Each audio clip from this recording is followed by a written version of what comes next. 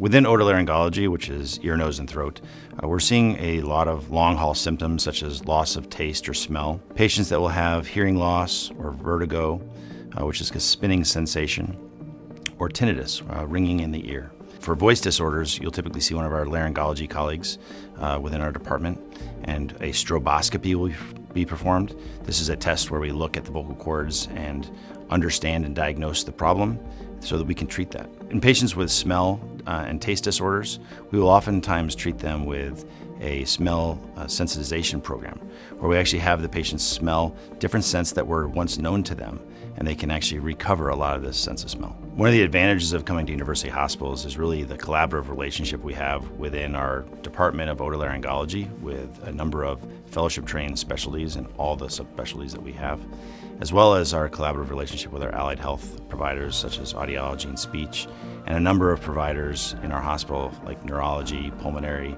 sleep medicine, who can help us understand what's going on and address the problems. For a lot of these symptoms that long hauler patients have, the ability to recover from these is pretty high. If something's going on and it doesn't seem right, go and see your doctor. It's important to be evaluated.